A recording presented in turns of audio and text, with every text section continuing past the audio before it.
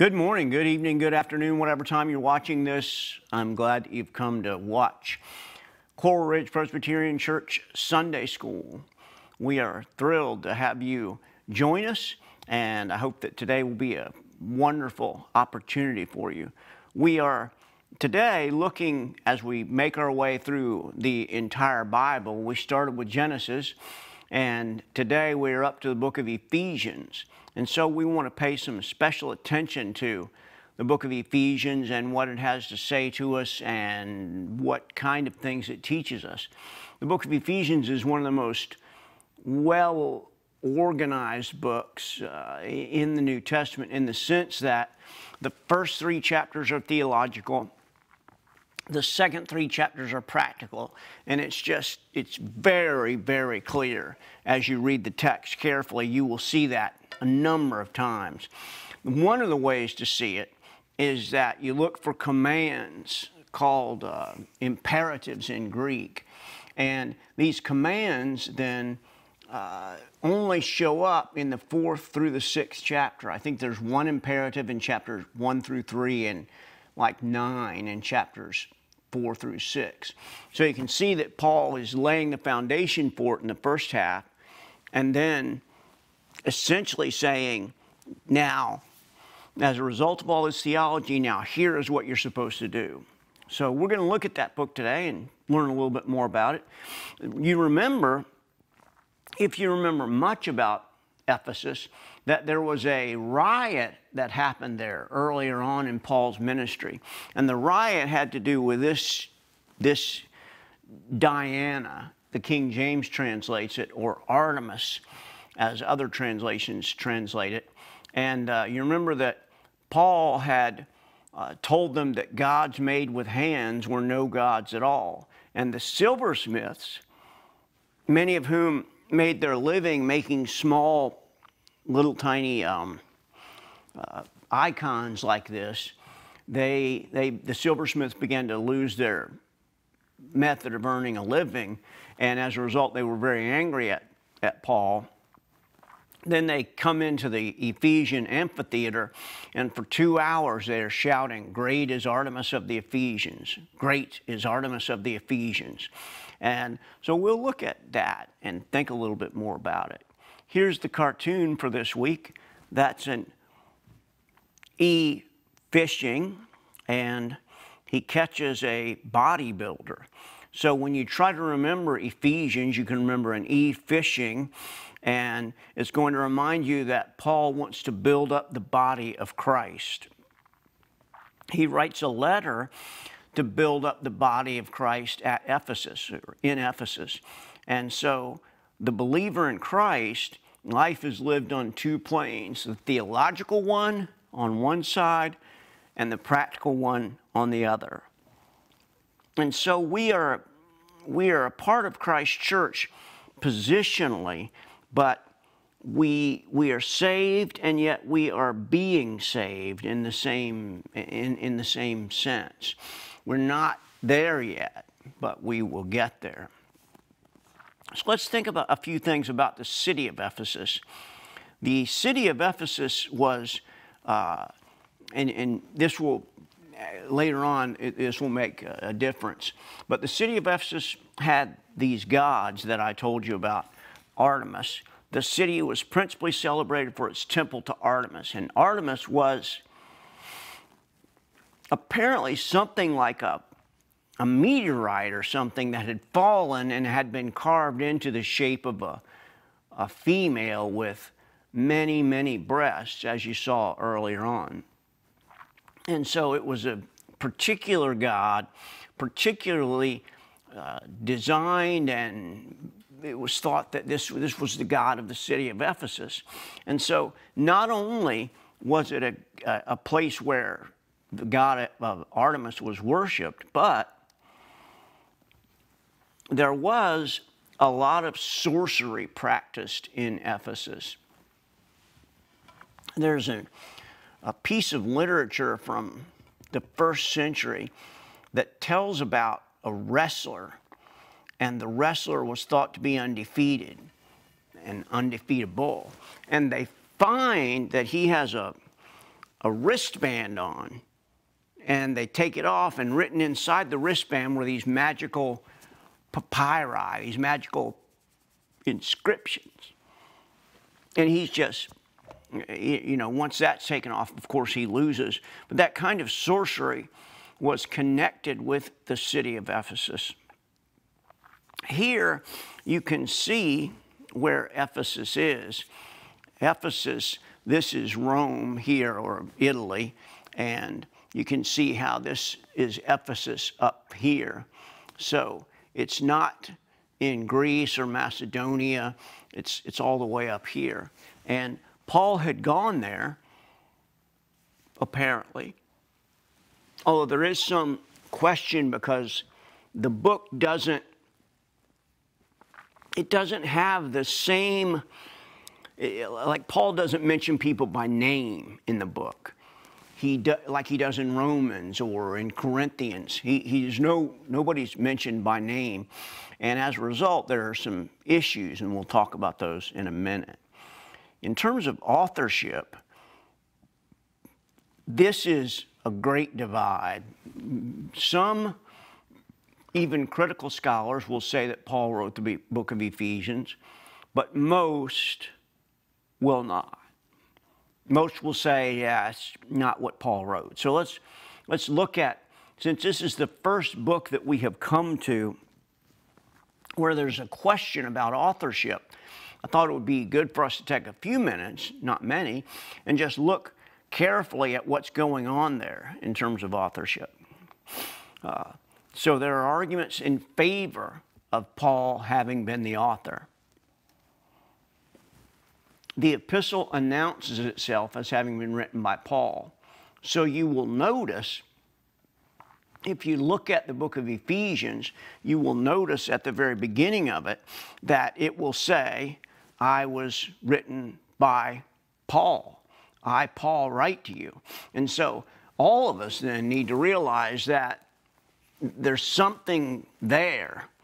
And if Paul didn't write this, then it creates for us some fairly significant problems, not insurmountable. I mean, it's possible that somebody gathered up Paul's notes, but I, I don't think that's the case. There's nothing in the book in its contents inconsistent with the assumption of his being the author. There's nothing in it that just right out says this is not a book written by Paul. And all the incidental references agree with what is known to be true of Paul. So he had been there at Ephesus. He, uh, he had, you know, taken place in that riot and all of that. The style of the doctrines and the sentiments and the spirit and the way that the thing is written, the character revealed are those of Paul. So you don't want to just put this away as non Pauline before you think it through. And the whole church, the whole, all of the ancient church received it as genuine and thus received it as genuinely having been written by Paul. So, what does that tell us? At the very least, it tells us that those people who read Greek as their mother tongue didn't see the differences that modern scholars do.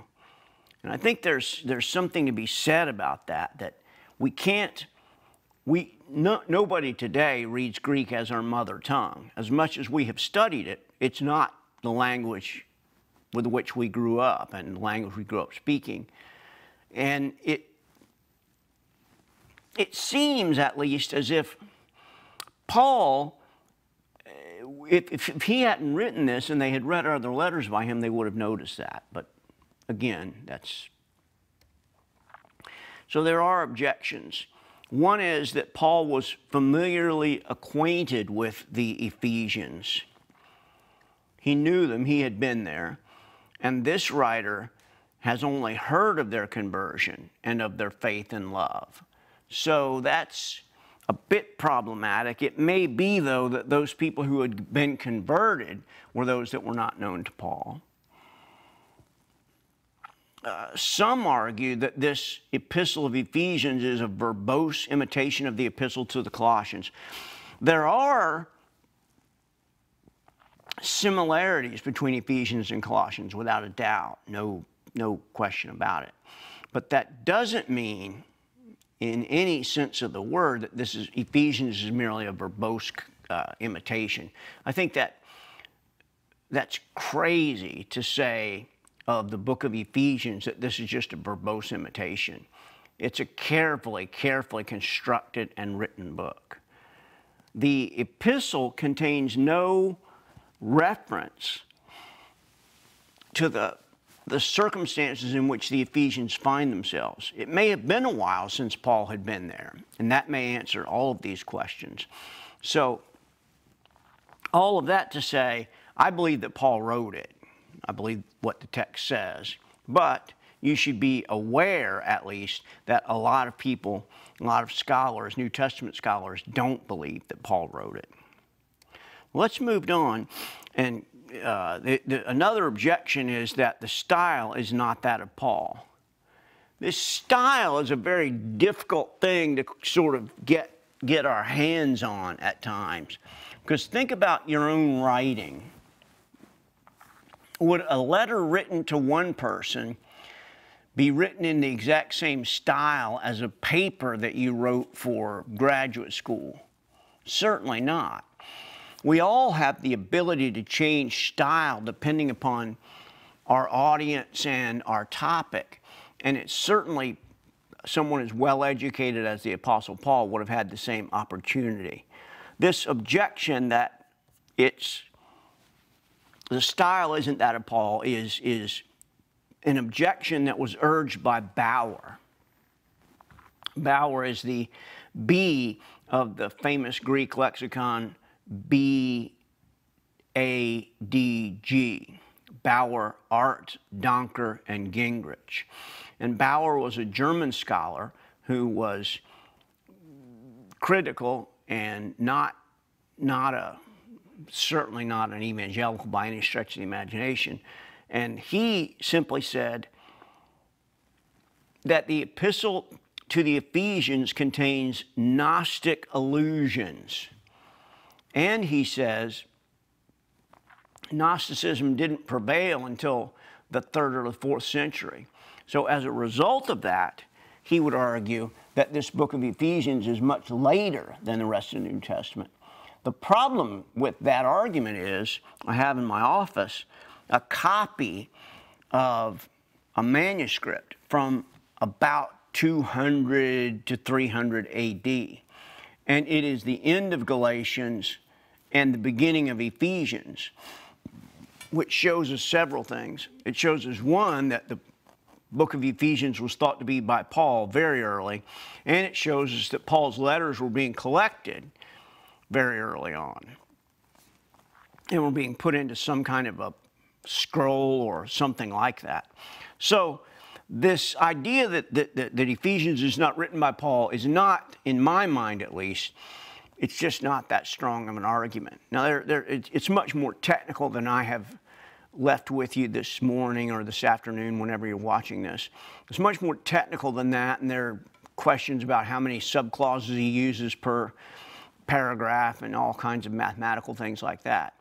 But it comes down to this question of style. And it just seems to me that style is so changing as one grows and as one gets more education that, that style is not a legitimate method of determining authorship.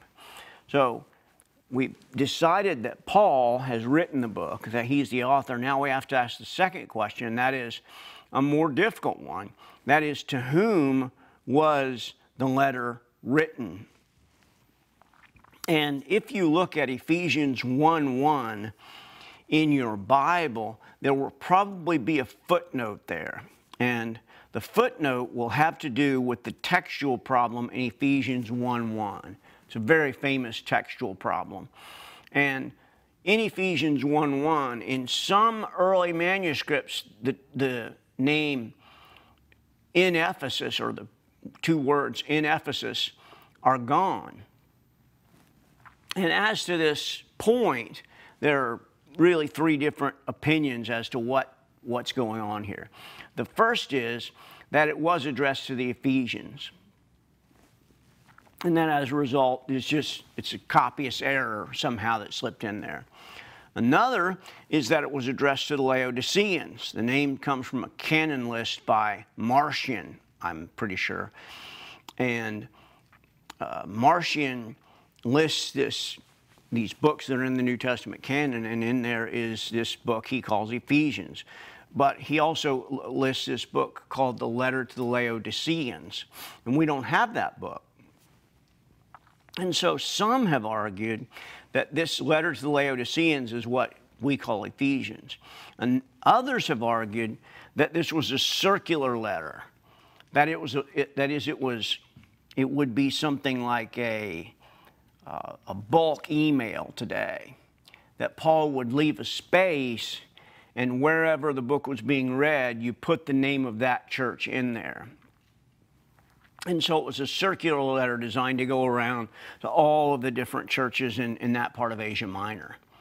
Uh, that's, it's a difficult decision, I will tell you. Um, the, the, uh, the, the issue is one, as you look at Ephesians 1 1, you can see how taking out in Ephesus sort of makes it a quirky way to read. So there are those who will argue that the term in Ephesus ought to be included in the text. And those who are being uh, arguing that will argue that the epistle is directed to those who are in Ephesus and that this epistle was addressed to the Ephesians is proved by the testimony of the ancient church. Remember, the ancient church said, This is the letter to the Ephesians. And it took the letter to the Ephesians and accepted it. The, the uh, arguments in favor of a circular letter are that the lack of the words in Ephesus in the older manuscripts, they just don't show up. And the problem with this view as a circular letter is that it, the only manuscripts that have survived either have in Ephesus or nothing. We never see a manuscript with a letter to the church of the Laodiceans. It, it's not there. And so one would think that if this were a circular letter where the, where the name of the letter, the name of the church was being put in to a blank space, we would find some of those manuscripts, but we don't. And it, we, we would expect that. We would expect the names of other churches to, to crop up. Another uh, big question is the epistle's relation to the book of Colossians. Clearly, there are similarities between Colossians and Ephesians. Uh, one of the similarities is the occurrence in both epistles of the same words and forms of expression. So, if you can argue that it's a different style, you gotta somehow come up with some kind of a way that this happened. And arguing that it's a, it's a fabrication that, that depended upon the book of Colossians, I think is short-sighted at best. There are passages which are identical in thought and language in Colossians and Ephesians. And there are passages in which the thought is the same and the expression is varied. And so, as a result, this, this creates this question. In other passages where the same topic is more fully handled than the, in the other epistle, than one, in one epistle than the other. So, there are points of similarity in terms of Ephesians and Colossians, but we expect that. They're from the same person. He's talking about many of the same things, and as a result, it's important that they understand these things. But there are points of difference as well. Um, one of the points of differences is that while the epistle to the Colossians has indicated, has every indication of having been written to a particular congregation in reference to their particular issues and problems they were having in the church, the most marked characteristic of the epistle to the Ephesians the, is the absence of these features. There's nothing really personal in the book of Ephesians. In the epistle to the Ephesians, the doctrinal element prevails. So in the epistle to the Colossians, it's just the opposite. So keep that in mind as you sort through all of these things that the one of the things that you want to look for is as you read through the book of Ephesians, one of the key words to the book is mystery. You'll see the word mystery more times in the book of Ephesians than virtually any other New Testament book. And the, the mystery today sort of means something different than it did then. In, in our culture, mystery is a kind of novel that you buy at Barnes and Noble. You, got, you go to the mystery section. In Paul's day, a mystery was something that you could never understand on your own. A mystery was something that it, it only God could reveal to you.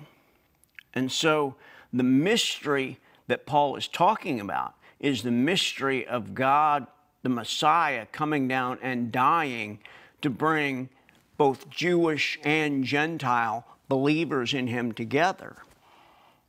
And that's the reason that we see in Ephesians, for example, he has torn down the wall of separation. no need to separate anymore because we have the one Messiah. The main object of the epistle to Colossians is to warn the church against philosophy, so called. And there's no indication of anything like this in the book of Ephesians. It's just, it's not there. There are, therefore, topics discussed in one epistle that are not, there's nothing to correspond to them in the other epistle. So there's no sense in which we can fairly call the book of Ephesians a copy a poor copy of the book of, of Colossians. It's just not the case. And the order of sequence, except in the case of some particular exhortations, they're entirely different in the two. And so we all ought to, ought to realize that when we're dealing with the book of Ephesians, it has some very specific things to say to us. So let's look at a few of the key themes in the book of Ephesians. One theme is the greatness of God. In the first three chapters, you see that. And Paul begins with this soaring magisterial commitment to the grace of God. And then he moves on.